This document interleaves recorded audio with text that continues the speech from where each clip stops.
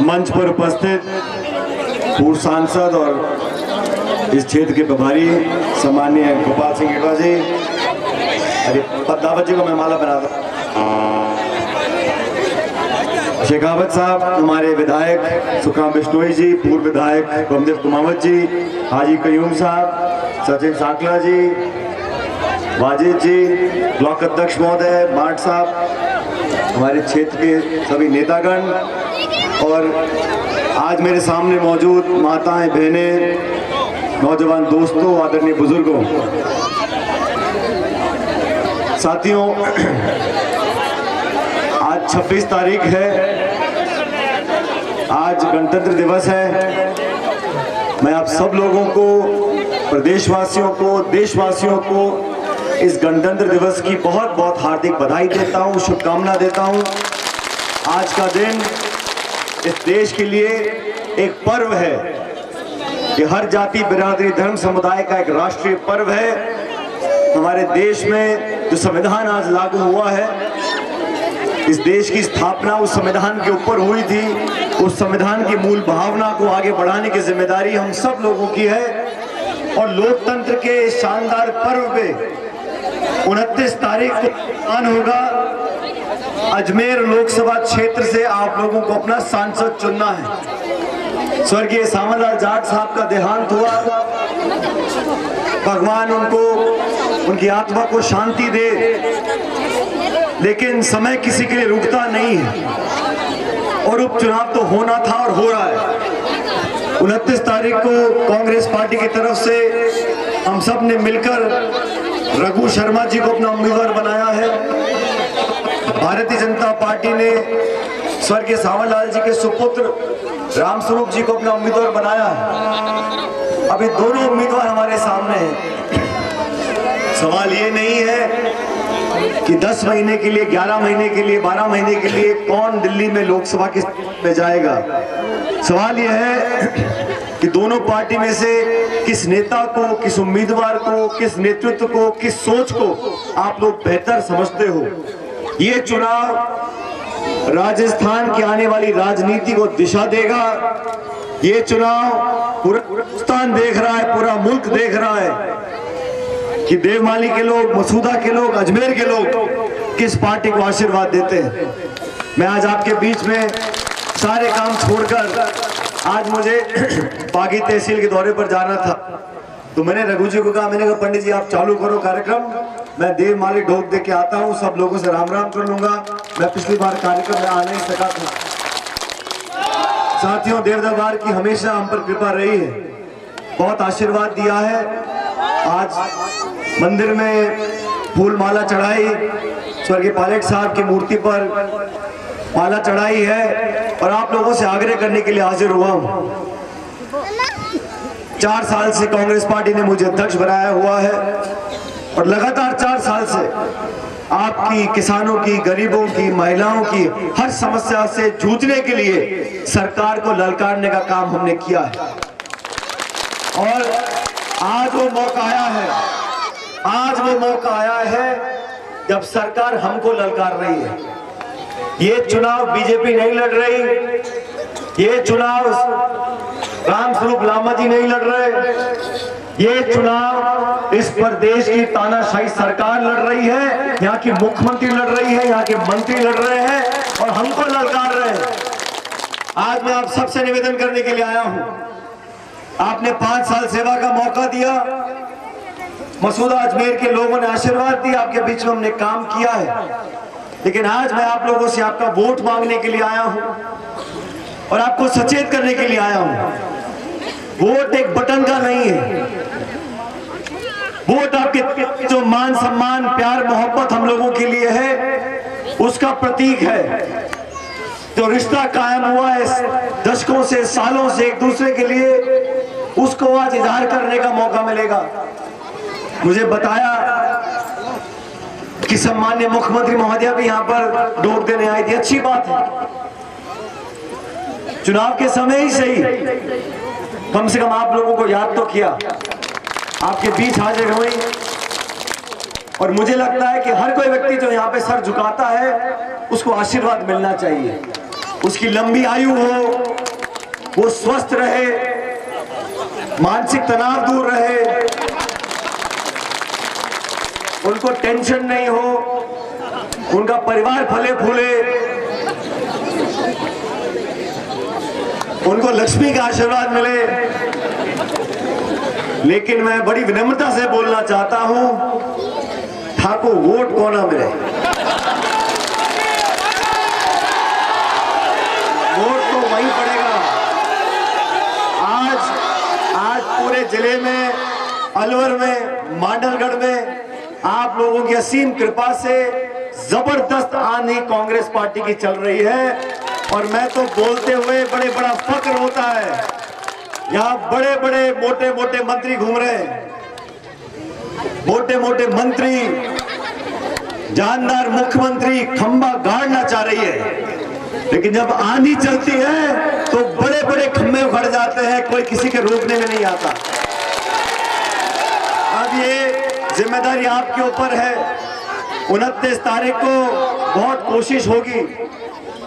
मैं तो भाई अखबार में पढ़ता रहता हूँ।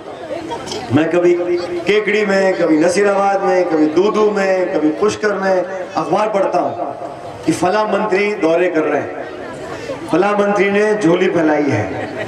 फला मंत्री बोलते हैं, साहब, समाज की बात है। सचिन पायलट चुनाव नहीं लड़ रहे तो हमको वोट दे दो।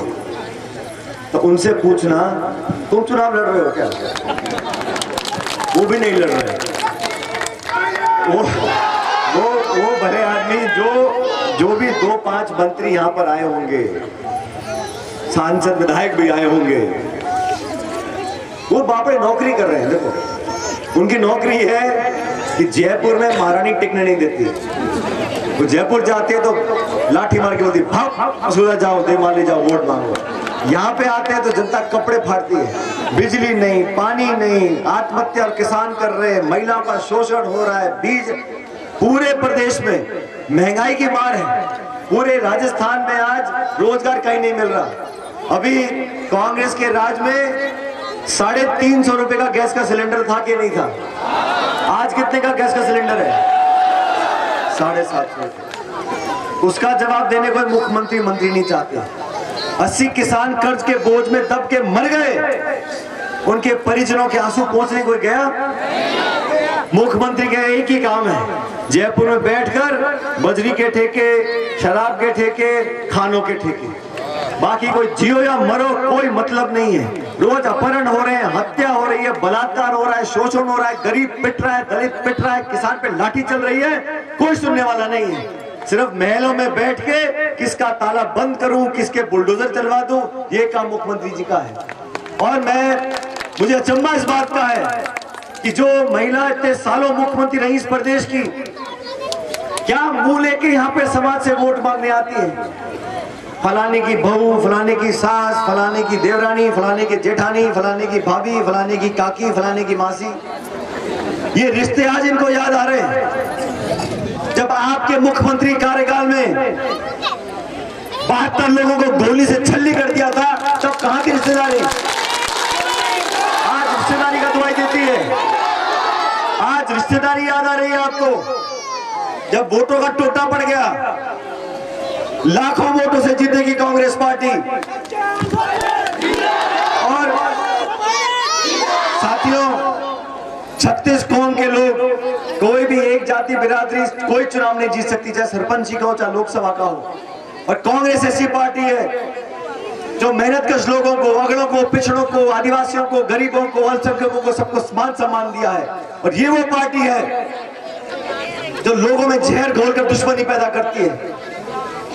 पानी मांगते हुए गोली चलाती है। आरक्षण मांगते हुए गोली चलाती है। बात करते हैं तो पुलिस के पीछे लगा देती है। आज सरकार क्या कर रही है? नोटिस दे रही है। थाने में बुला रही है। दबाव दे रही है, लालच दे रही है। साढ़े अठारह लाख मतदाता इस अजमेर लोकसभा क्षेत्र के हैं। किस किस को जेल में बंद करोगे आप?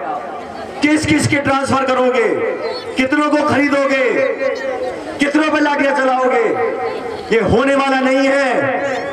अजमेर लोकसभा का चुनाव इस बार जो होगा, वो सच और झूठ की लड़ाई होगी। दमन करने वाले और संघर्ष करने वाले के बीच में लड़ाई होगी। और ये लड़ाई। एक मिनट। और ये लड़ाई आपके भरोसे पे हम लड़ रहे हैं। आज मैं विशेष रूप से आपके बीच में आग्रह करने के लिए आया हूँ। मेरी बात को गौर से सुनना, कान खोल के सुनना। चार साल जो संघर्ष हमने आपने किया है किसानों, गरीबों के लिए, आज वो कसौटी का समय है। उनतीस तारीख को एक एक वोट हाथ के पंजे पे देना पड़ेगा आप लोगों को और सुनो अगर किसी को कोई संकोच है, कोई आशंका है तो मुझे आज ही बता दो। आप में से कोई डरने वाला तो नहीं है। माताएँ, बहनें, डरेंगे तो नहीं। लालच में तो कोई नहीं आएगा। और आप लोगों को तो सिर्फ़ एक छोटा सा काम करना है। उनतीस की सुबह सुबह उनतीस तारीख को चूल्हा चाकी छोड़ के सुबह सुबह छोटा सा बटन दबाना है, बस। बाकी पूरी कबड्डी मैं खेलूँगा, आपकी आप चिंता छोड़ अब बहुत उम्मीद हम लोगों को है। आप लोगों से, किसान वर्ग के लोगों से, नौजवानों से, महिलाओं से, बुज़ुर्गों से, आठों विधानसभा क्षेत्र में चुनाव हो रहा है। लेकिन मैं चाहता हूँ कि सबसे ज़्यादा बढ़त हमें मसूरा विधानसभा क्षेत्र से मिलनी चाहिए। और मेरे आग्रह को अगर आप स्वीकार करते हो तो जितने भी खड़े बैठे हो, दोनों हाथ खड़े करके मेरे को विश्वास दिलाओ कि सारी वोट कांग्रेस पार्टी को पड़ने वाली है। अब साथियों, सुनो। मैं कल प्रचार का आखिरी दिन है। कल अजमेर में रोड शो करेंगे। हम भी करेंगे महारानी भी करेगी। महारानी भी करेगी, पूरी सरकार लगेगी, मंत्री भी लगेंगे। लेकिन हमारे रिक्शा वाला ठेली वाला छोटा किसान, मजदूर हमारे साथ कंधे से कंधा मिलाकर चलेंगे। और बड़ी बड़ी मोटी मोटी गाड़ी वाले महारानी के साथ आएँगे। अब हार और जीत किसकी होगी तो परम पिता परमेश्वर तय करेगा। लेकिन आज आज वोट देने के बाद देव दरबार में हाजिरी देने के बाद, आप सब लोगों का आशीर्वाद देने के बाद, मेरा मन ये कहता है कि लाखों वोटों से यहाँ कांग्रेस पार्टी जीत कर जाएगी। मेरे आज मेरे आज उनतीस पंचायतों के दौरे फाकी तहसील के दुदू में। मैं वहाँ जा रहा हूँ, लेकिन जाने से पहले मैं आप लोगों के मुँह से वो जयकारा सुनना चाहता हूँ ताकि मेरे कलेजे ठंडक पड़ जाए। कांग्रेस पार्टी ये नारा तो मसूदा में नहीं पहुँचा, अजमेर कैसे पहुंचेगा कांग्रेस पार्टी! और अब एक नारा लगाना है माता बहनों पूरा गले की नस फाड़ के बोलना है, जयपुर तक, वसुंधरा जी को पढ़ना चाहिए सुनाई, ठीक है?